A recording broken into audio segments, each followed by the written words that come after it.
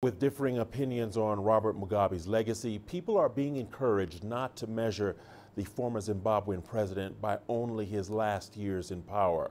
CGTN's Farai Mwakutuya reports from Harare.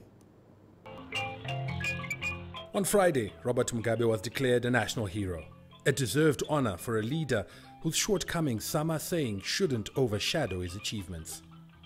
My appeal to you is have a balanced assessment of his contribution and of course also of the challenges of leadership which he had.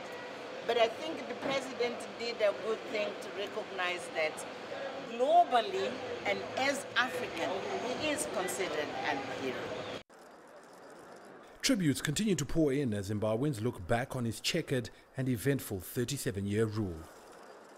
One of the most defining moments of Robert Mugabe's presidency was when he took over white owned farms and redistributed the land to the black majority.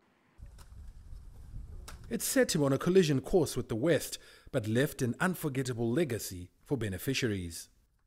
Since 2007, Nyaradzayi Washaya has been rearing livestock and plans to expand into horticulture on the 117 hectare farm she was allocated in the Mashonaland Central Province.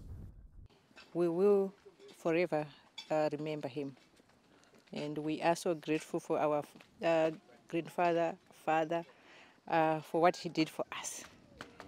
Um, if we look at it, uh, I, would, I wouldn't have uh, dreamed of getting such a piece of land.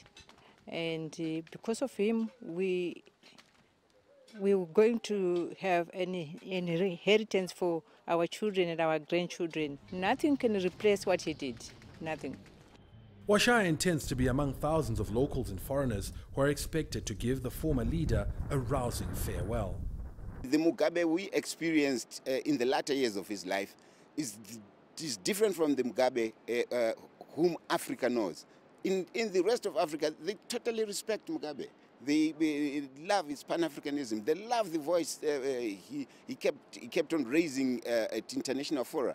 They love uh, uh, the, the, uh, the, the power behind the person, the, the fight for Africa, the fight for an African to be recognized, the fight for Africa to have a seat in the United Nations. So how we view Mugabe and what he did for us in Zimbabwe and uh, uh, for us uh, as a country in the latter years of his life is totally different from how others perceive him. So yes, he will have a huge send-off.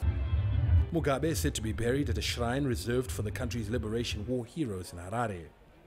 No date has yet been set for the burial. Farai Mwakutuya, CGTN, Harare, Zimbabwe.